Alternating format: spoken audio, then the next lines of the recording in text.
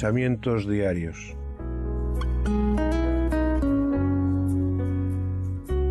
Sencillas pero profundas reflexiones para cada día de nuestras vidas. Meditaciones de la palabra de Dios nacidas de un corazón agradecido por su gracia y misericordia. Pensamientos diarios.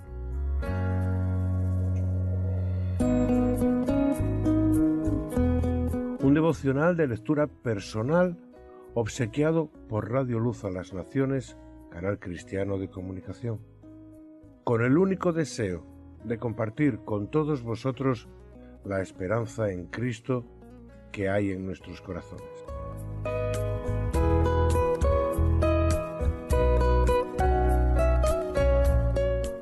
Náufragos de la locura.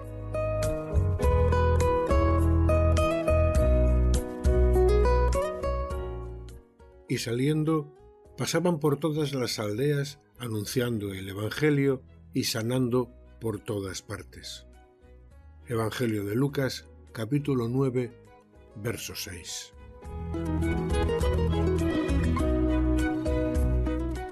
El mundo de los pensamientos es como una especie de nave en la que nuestro hombre interior viaja continuamente y que en ocasiones nos acaba llevando a parajes insospechados. Todos podemos describir o explicar en qué pensamos, pero resulta mucho más difícil explicar o describir cómo pensamos.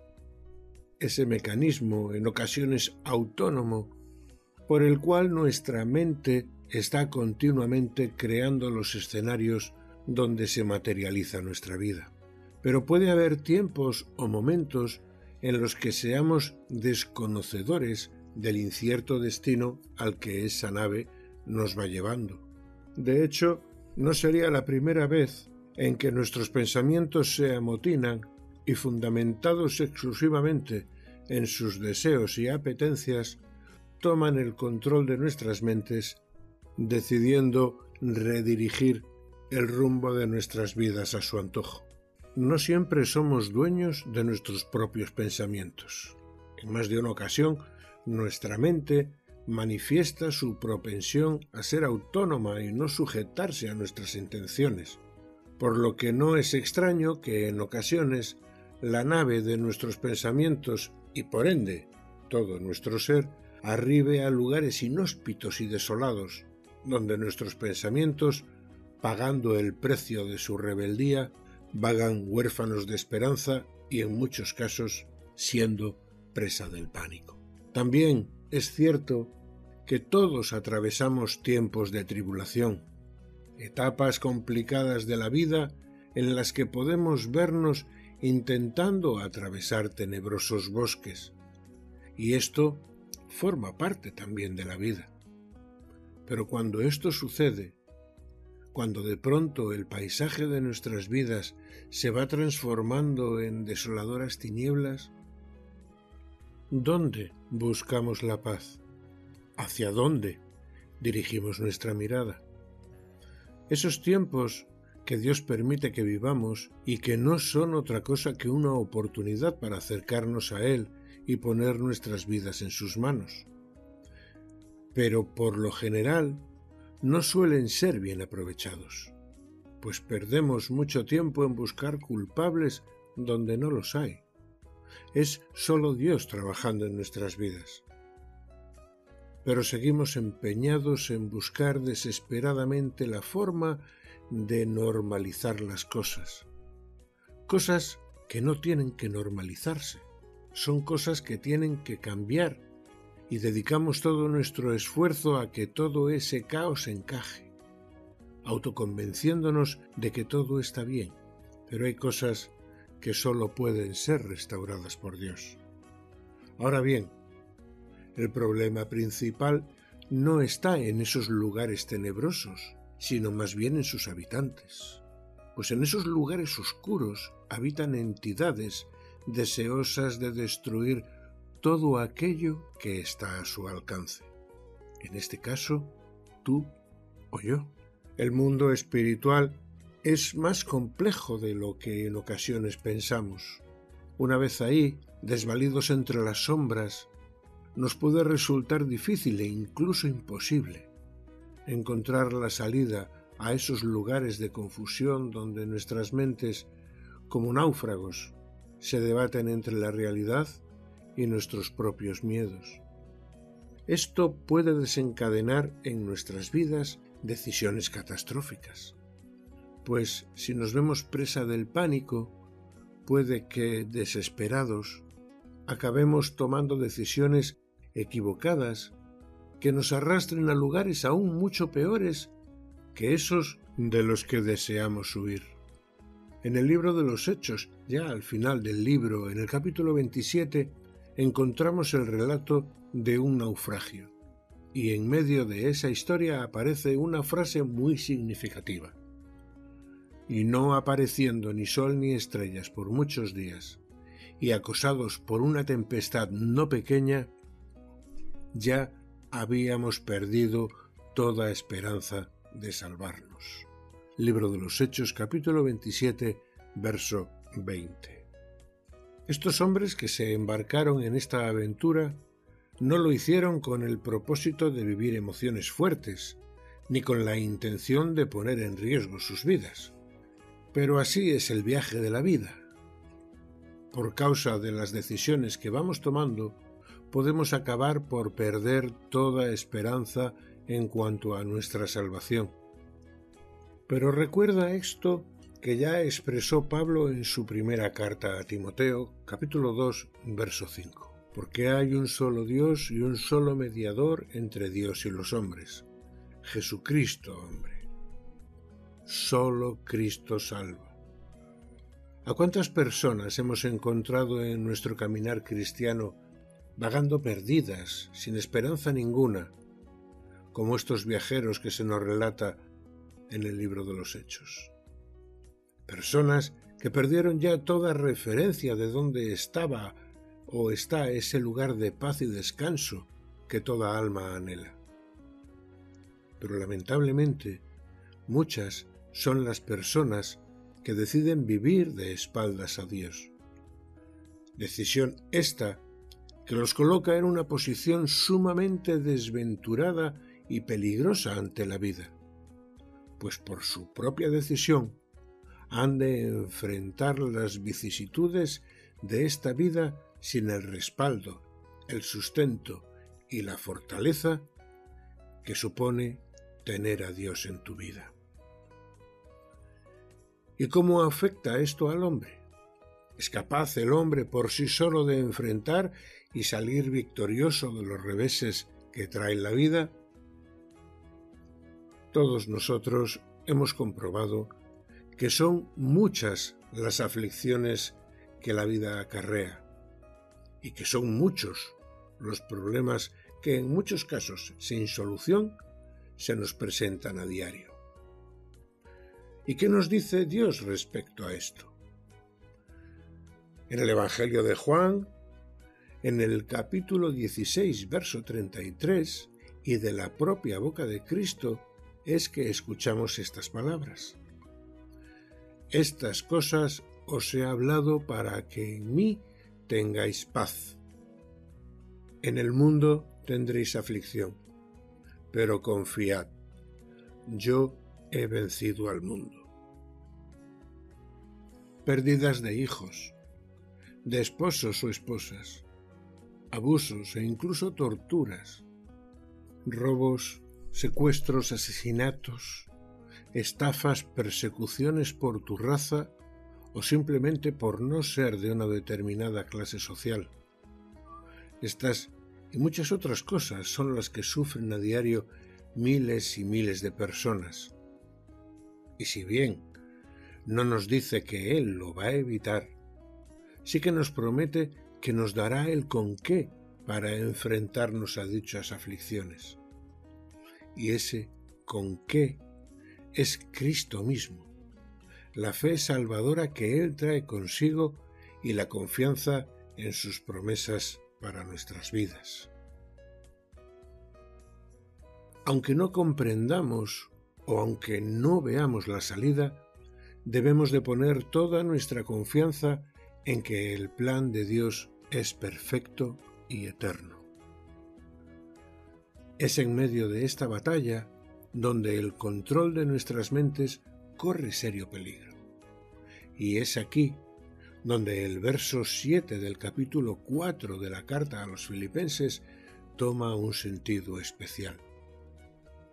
Y la paz de Dios que sobrepasa todo entendimiento, guardará vuestros corazones y vuestros pensamientos en Cristo Jesús. La paz de Dios.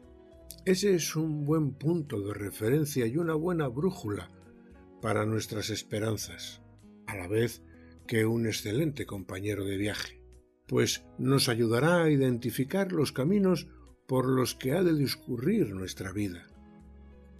Es por esto que en más de una ocasión tendremos que rechazar e incluso reprender a nuestros pensamientos, identificándolos como nocivos, peligrosos y hasta llenos de maldad, especialmente si los examinamos a la luz de lo que Santiago nos dice sobre las cosas que vienen de Dios.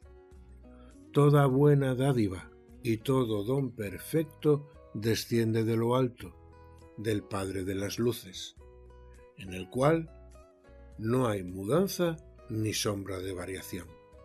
Carta de Santiago capítulo 1 verso 17. Si atendemos a estas palabras no podemos dejar de prestar atención a los mensajes que encontramos en la propia palabra de Dios. Pero en este caso, y de un modo muy especial, a lo que encontramos en un verso que está en la carta a los filipenses capítulo 4 verso 8, donde podemos leer todo lo que es verdadero, todo lo honesto, todo lo justo, todo lo puro, todo lo amable, todo lo que es de buen nombre, si hay virtud alguna, si algo digno de alabanza, en esto pensad. Todo en la vida necesita tomar y mantener un rumbo adecuado y correcto, que nos haga llegar a las metas que anhelamos. Pero también sabemos, porque lo hemos experimentado, que en muchos casos este rumbo y estas metas poco o más bien nada tienen que ver con los propósitos de Dios para con nuestras vidas. Es Dios quien en su omnisciencia es sabedor y conocedor del destino final de nuestro ser, por lo que nos abre una puerta hacia la salvación. Y esa puerta no es otra que su Hijo Jesucristo. Desde el Evangelio de Lucas, en el capítulo 13, verso 24, nos llegan estas palabras de Jesús. Esforzaos a entrar por la puerta angosta, pues os digo que muchos procurarán entrar y no podrán. Y en el Evangelio de Juan, en el capítulo 10, verso 9, leemos, Yo soy la puerta, el que por mí entrare será salvo, y entrará, y saldrá, y hallará pastos. Como podemos comprobar, esa puerta que Dios nos abre a la salvación de nuestras almas se llama Jesucristo y es el propio Jesucristo quien se encarga de que podamos tener entrada por esa puerta. Acabamos de escuchar que hemos de esforzarnos por entrar por una puerta angosta, estrecha, y se nos dice que procuraremos entrar y puede que no podamos. Y por otra parte es el propio Jesús quien se identifica a sí mismo como la puerta por la que se supone que debemos de entrar. ¿Cómo recibir este mensaje sin que nos suponga un problema? Primeramente necesitamos un poco más de información. Siempre que vayamos a iniciar un camino o un viaje, necesitamos saber dos cosas básicas. De dónde salimos y a dónde pretendemos llegar. Aquí es donde entramos en escena los miles y miles de personas que fuimos redimidos, que fuimos rescatados de nuestra vana manera de vivir y que recibimos el ministerio de la reconciliación, como expresa Pablo en su segunda carta a los Corintios capítulo 5 versos 18 y 19. Y todo esto proviene de Dios, quien nos reconcilió consigo mismo por Cristo y nos dio el ministerio de la reconciliación, que Dios estaba en Cristo reconciliando consigo al mundo, no tomándoles en cuenta a los hombres sus pecados, y nos encargó a nosotros la palabra de reconciliación. El punto de partida, nuestra desolación, nuestra desesperanza, pero principalmente nuestro pecado. Ese pecado que nos ha mantenido alejados de Dios y que tanta soledad y tristeza nos ha acarreado. Ese es el punto de partida. ¿Y a dónde deseamos llegar? A los pies de la cruz. Ese bendito lugar en el cual el peso de nuestro pecado desaparece, siendo sustituido por el abrazo que Cristo nos brinda desde su gloriosa cruz. Pero, ¿y cómo llegar hasta ese punto si no se nos predica el mensaje de la salvación? Aquí vuelve a ser el apóstol Pablo quien nos dice, ¿Cómo pues invocarán a aquel en el cual no han creído? ¿Y cómo creerán en aquel de quien no han oído? ¿Y cómo oirán sin haber quien les predique? ¿Y cómo predicarán si no fueren enviados? Como está escrito, cuán hermosos son los pies de los que anuncian la paz, de los que anuncian las buenas nuevas. Carta a los Romanos, capítulo 10, versos 14 y 15. Para este viaje necesitamos ayuda y necesitamos también información, algo que evidentemente encontraremos en la palabra de Dios, pero también necesitaremos una ayuda que viene de esos hombres y mujeres de Dios cuyo ministerio es acompañarnos en ese caminar y en esa búsqueda de paz y esperanza. En el capítulo 11 del Evangelio de Juan se nos relata la resurrección de Lázaro. Y en el verso 43 vemos cómo Jesús hizo que saliese del sepulcro simplemente llamándolo y habiendo dicho esto, clamó a gran voz, Lázaro, ven fuera. Pero en esta historia hay una parte que va un poco más allá en lo referente al trabajo, al ministerio que Cristo desea que los redimidos llevemos a cabo. Y lo comprobaremos en el verso 44. Y el que había muerto salió atadas las manos y los pies con vendas, y el rostro envuelto en un sudario. Jesús les dijo, desatadle y dejadle ir. Como Lázaro, aquellos que viven sin haber recibido a Cristo aún permanecen no solamente muertos en sus delitos y pecados, sino que sus mentes y sus almas siguen vagando por parajes de desesperanza y sin razón. Pero a una voz, a la voz del llamado de Cristo, esto puede cambiar. Así como Lázaro no podía soltarse a sí mismo de las ataduras de su propio sudario, así las ataduras que el pecado extiende en las almas de los pecadores no pueden ser eliminadas por ellos mismos. Y ese es nuestro ministerio. Jesús les dijo a sus discípulos, desatadle y dejadle ir. Así nosotros como embajadores de Cristo tenemos un ministerio desatad las ataduras espirituales con la oración, pues como dice Santiago en el capítulo 5 de su carta, y la oración de fe salvará al enfermo, y el Señor lo levantará, y si hubiere cometido pecados, le serán perdonados.